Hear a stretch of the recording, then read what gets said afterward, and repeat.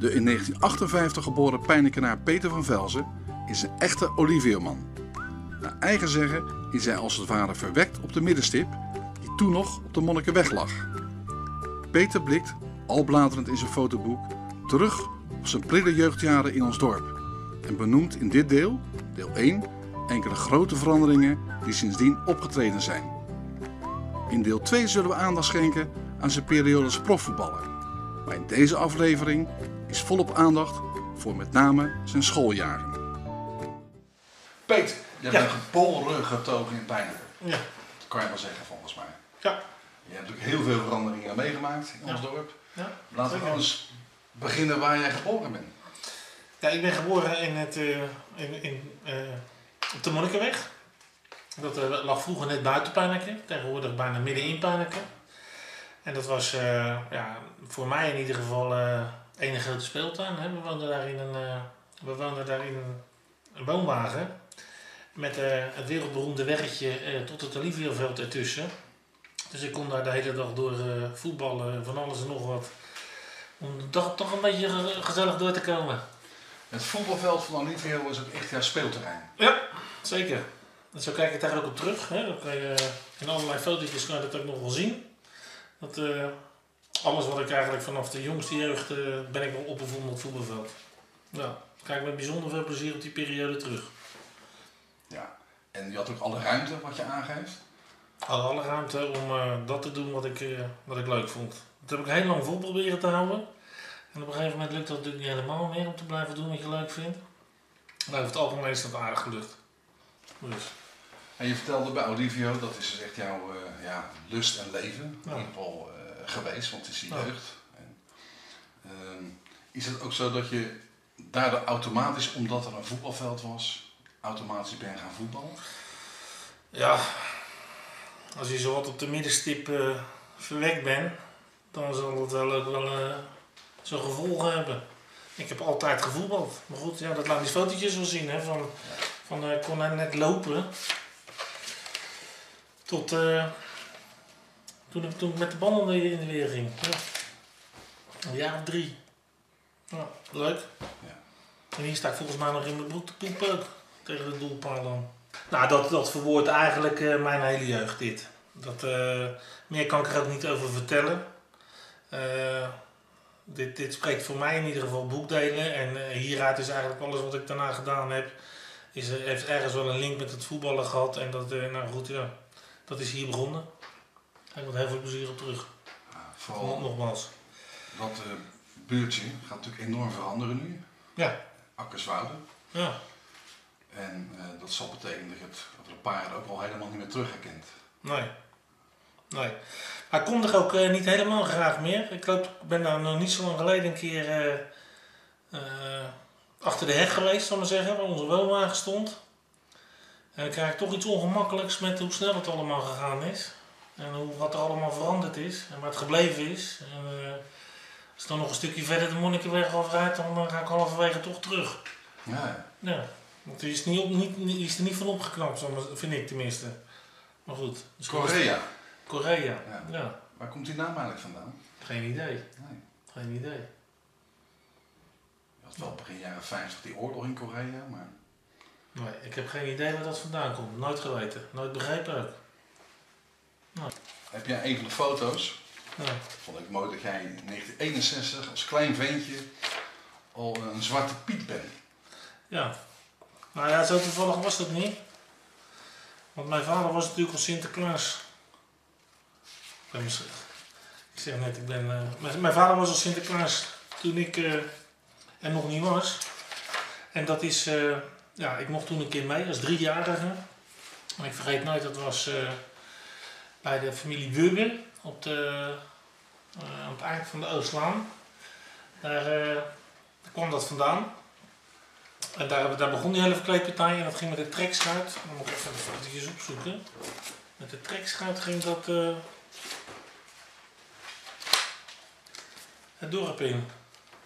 Zwarte Piet gesminkt, terwijl je ook echt nog geloofde in Sinterklaas. Ja. Sinterklaas Ja, mijn vader sminkte me, die kleedde zichzelf onderwijl aan als Sinterklaas. En toen hij klaar was, toen eh, noemde ik hem Sinterklaas. Zo erg heb ik er wel in geloofd. Als je maar genoeg krijgt, hè, dan gel- geloof je overal in. Ja. En je ging ook naar adressen mee? Ja. Ja, en zo heb ik ook eh, meegemaakt dat eh, op het laatste bij de familie, hoe heette die ook alweer? Van Buren. Dat was het laatste, als het, het laatste huisbezoek op 5 december. Op de, heet het, naar eh, Zoetermeer toe. Dat was een weg. En daar hebben ze toen gezegd van, nou, eh, de kinderen geloofden er nog wel net wel in, net niet in. Dus dan kwamen ze op het idee om... eh, nou, dan bij het laatste huisbezoek te zeggen van nou, Clay, dan sminken we ons ook af aan het eind van het bezoek. Nou, ik heb nog nooit zoveel kinderen zo bang en in paniek gezien als toen ze dat deden. Dus eh, ja, was ook een bijzondere belevenis, eh, het Zwarte Piet zijn. Is dat voor jou nog steeds een, eh, een feest wat eh, op bepaalde manier Nee, gevierd want wordt? eigenlijk daarna hebben we eigenlijk thuis nooit meer Sinterklaas gevierd, want ja, hij was altijd Sinterklaas. En niet thuis, zeg maar. Ja. En eenmaal verdergaand, eh prachtig fotoalbum natuurlijk. Ja, Kijk je het vaak in? nee. Nee? Dus in dat opzicht is het weer een gelegenheid om dat een beetje door te bladeren. Ja. Je hebt op de, op de lagere school gezeten in Pijnacker. Ja, En welke was dat? Johannesschool. Een van de twee, zullen we maar zeggen, op de Oostlang. Ja. Aan eh, de school waar de jongens zaten, hè. Lekker dicht bij huis. Lekker dicht bij huis. Daarvoor ook bij de, bij de nonnen gezeten. Dat heet nu tegenwoordig heet dat de drie heren. Ja. En eh, daar heb ik op de kleuterschool gezeten. Met, eh, nou, in, deze, in deze periode was dat. Ik heb hier nog wat fotootjes van het carnaval bij de nonnen. En dat, eh, ja, Dat, dat muurtje staat er nog. ja, ik ben deze cowboy. En eh Peetje zit ernaast. En wie zijn die anderen dan? Dat is het mooie als je dat weet, ja. Tuurlijk. Ja, en er staan er drie met een zak over de harses. En eh, Frans de Vries. Ja? Bassie Kouwenhoven. Ja, dat was natuurlijk ook een typische oude, oude school, de Johannesschool. Hè, met eh, aan de ene kant van de straat eh, de meiden, aan de andere kant eh, de, de jongens. Tenminste, dat was, zo was het ooit bedoeld. Dat heb ik niet meer helemaal meegemaakt hoor. Maar het was ook een, ja, een klassieke school. Veel hout, lange gang. En aan één kant alle, alle lokalen. Dus die veranderingen van de jaren 60 heb jij Ja. op die manier meegemaakt. Ja. Ja. En ze hadden voor mij ook wel een stukje. eh, gaat allemaal natuurlijk niet, dat begrijp ik wel. Maar een stukje Ooslaan hadden ze wel mogen laten liggen, vind ik. Nee? Als er nou toch allemaal wegen om heen zijn gaan maken, hadden we misschien de Ooslaan wel kunnen laten liggen. Maar goed, niet gebeurd. Nou is je vader nog gemeenteraadslid geweest? Ja. Was dat in de jaren 70? Ongeveer? Ja. Ja. CDA, eh wat ooit, eh, wat was dat ooit? KVP allemaal. eh, die, eh, daar was hij eh, aanhanger van. Gemeenteraadslid geweest, ja. Zelf ooit de behoefte om iets te gaan doen in de politiek? Maar het lijkt me geen, lijkt me geen goede combinatie, zeg maar. Hoezo? Geen goede combinatie. Nou, ja. We moeten heel veel geduld hebben, zeg maar. Dat heb jij niet? Nog- Nog steeds niet. Voordat er wat gaat gebeuren waar je denkt van hé, hey, zit zo hier aan de dijk. Dus nee, dat lijkt me geen. Dat kunnen anderen denk ik veel beter. Heel, veel, eh, heel lang en veel eh, praten zonder al te veel te zeggen. Nee. Ja. Je had het over de Fatima maken, Ja, de Meidelaan. ja. Inderdaad, ook niet meer eh, zichtbaar. Nee. Behalve dat je nog wel een, een soort veldje ziet. Ja. Nou, maar daar heb ik eh, dat veldje, nee. Dat zegt maar niks van die tijd. Het enige veldje, de hele eh, eh, MAVO-periode is trouwens een beetje langs me heen gegaan. Dat was ook de periode dat ik eigenlijk uit Pijnacker eh vertrok. In die zin niet ergens anders ben gaan wonen, maar wel ergens anders ging voetballen. En dat heeft me wel... nou ja, ik was op school en, en, en in Rotterdam bij, bij, zat ik bij Sparta. Dus daar, dat, dat Rotterdam maakte toen in die periode in mijn jeugd wel plaats voor, voor Pijnacker. Dus die hele MAVO-periode die is mij niet helemaal eh, bijgebleven hoe dat... eh, En moet ik dat dan zien als het dorpse van Pijnacker wat zich ging mengen met het stadse leven in Rotterdam? Nou, als jij als 12, 13-jarige de overstap maakt van Pijnacker naar Rotterdam, dan, dan is dat wel een, was voor mij wel een verandering in ieder geval. eh, met een compleet andere mentaliteit, een compleet andere ja, manier van opgroeien als dat ik dat in Pijnaker eh, om me heen eh, zag. En, en ook beleefd heb tot, die- tot die tijd. Dus dat, eh, ja, dat was wel erg eh, spannend allemaal natuurlijk. En was dat elke dag naar Rotterdam gaan? Ja, ik ging toen, eh, ik was 12 en toen ja, ging je drie keer in de week, eh, drie keer in de week trainen en een keer spelen met, eh, ik zal het nooit vergeten, met hier met het, het treintje, het Hofpleinlijntje en dan met bus 38 naar Zwembad West. Daar zat dan eh Nieuw Vreelust. En daar trainen we. Nou, Bij een zwembad? nou, dat was aan de overkant van de straat, zo heette de bushalte. Bij Grootgroen. ja. Ja, mooi. Dus dat was, eh, zo is dat een beetje gelopen. Dus de MAVO is eh, een klein beetje, ik heb dat wel ge- afgerond Bij de heer van de Wesselaar. bij de heer Van der Besselaar. Ja. Dan dacht ik nog eerst een voordeeltje uit te halen. Omdat eh, Van der Besselaar een eh, vriend was van mijn vader van de toneel. Maar hij zette me de eerste de beste... Hij denkt voordat jij daar een voordeel uit gaat halen, stuur je de eerste de beste wiskundeles ook gewoon weg. Maar dit was dat klasje van de Besselaar. Ja. Kan je wat namen opnoemen? Medeleerlingen? De medeleerlingen, eh, Albert Wald, Rob van der Bulk, Frans Langelaan, Frans de Vries. Eh,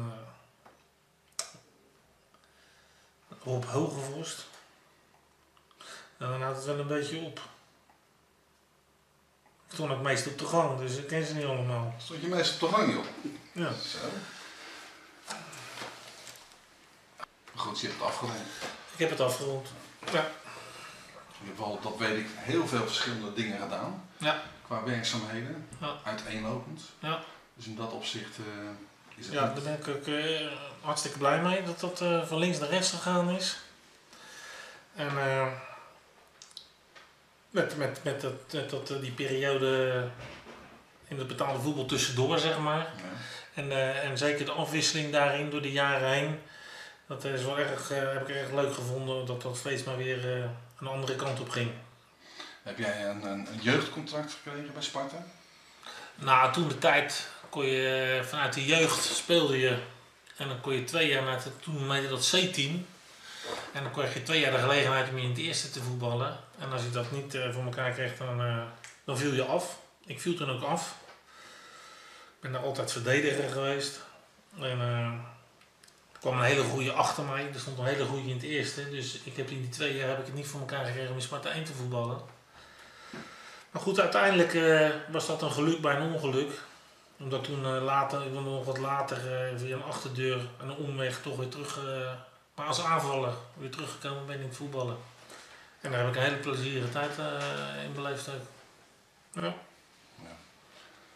Zeg, In de tussentijd ben je natuurlijk ook eh, nou, wijs geworden in het Rotterdamse. Ja, Op een gegeven moment ga je ook op jezelf wonen. ja dat, dat was altijd, ik heb altijd in Pijnaker gewoond. Ja. Ik woonde aan, de- aan de Monnikenweg, in, in, de, in de woonwagen. Toen zijn wij verhuisd naar het huis waar we nu in zitten, met mijn ouders.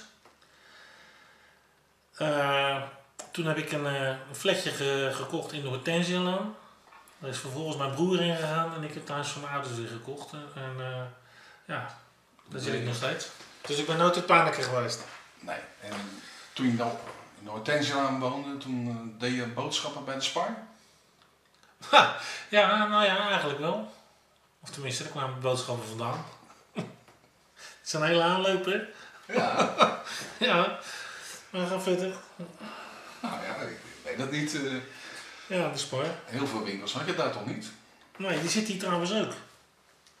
Wie? Die, die, zoon van de, van de, weet je de spar ook alweer? De Jong? Die Jong, ja. Hoe heet hij ook alweer? Ken jij hem? Nee. Een bergfamilie heb ik natuurlijk niet. Hebt Ferry woont hier. Ver woont hier, mijn broer woont hier, allebei Dus? vijf minuten. Mijn moeder woont eh tien minuten in het Acaciahof. En eh, dat gaat allemaal eh, goed. Familie Harreveld. Familie Harreveld. Grotere familie. We hebben ook lol aan. En dat, eh, ja, nee, ja, weinig te mopperen. Met die Cremex. Die zie ik veel minder. Dus ik heb nog, eh, ik heb, eh, als, we, als, we, als we elkaar tegen het lijf lopen, dat eh, is het prima. Maar het is niet zo dat we de, de deur plat, plat lopen. Nee. Maar doen nergens. Dus. Nee joh, het gaat, voor de rest gaat het gewoon eigenlijk best met Peet. Dus. Het is wel een kwestie van een beetje. Nou, nog een poosje gezond blijven en. eh, een beetje lol hebben onderweg. Dan is dit. Om, het, om er geen zwarte randje omheen te zetten.